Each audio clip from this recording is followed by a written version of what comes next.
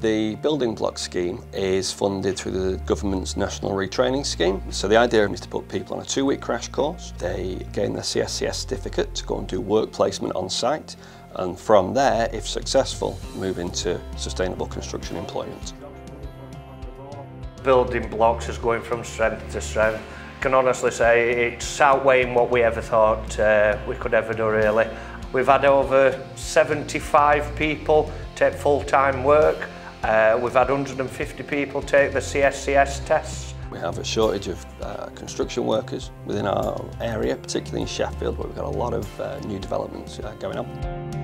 We're on a job today. We've got 36 houses for Sheffield Council. The gang behind us, they've got a lad from Building Blocks. He's on a trial at the minute and if he completes his trial well, they'll be offering him a full-time uh, apprenticeship. Yeah, working with Barnsley Brickwork's been great. They've helped me out a lot. They've given me a lot of experience, taught me a lot of tricks for trade.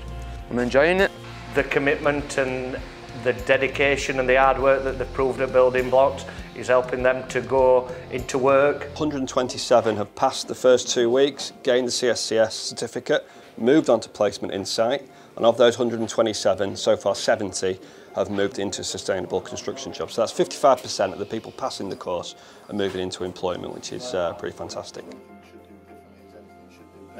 You know, you look at construction and predominantly, you know, it's a male-dominated uh, environment and that can be daunting or to certain individuals. And for Ellie, you know, that wasn't the case from day one. She came in with that determination and commitment to, to want to get into that industry. It's hard work. I admit that is very hard work. It's amazing. I, like, I do enjoy it. People I'm working with, I've got a good bond with them now. You get that close friendship with them, so it, it's nice. It's a lovely place to work. So one of the main supporters of the project has been uh, Barnsley Brickwork, who've been absolutely fantastic. They give me a lot of support. They were always there from day when I walked into these doors. And they've been fantastic in terms of uh, buying into the project, giving uh, people site experience and also uh, job opportunities. It is nice. It is, it's a lovely place to be working for. Matt's a great boss as well, I guess.